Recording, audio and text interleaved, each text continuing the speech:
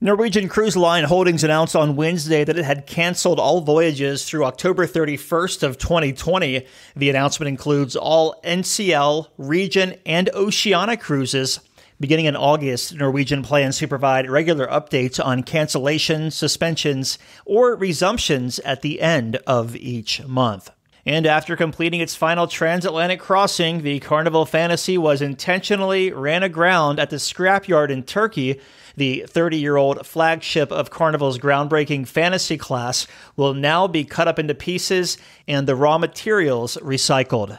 And finally, in an SEC filing on Wednesday, Carnival Corporation announced plans to sell two more cruise ships during the shutdown, bringing the total to 15.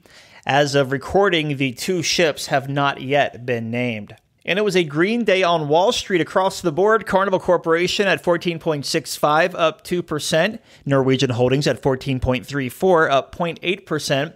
And Royal Caribbean at 51.00, up 0.3%. You could find more stories in this week's episode of Cruise Radio, a review of Norwegian Gem at cruiseradio.net. Doug Parker, Cruise Radio News.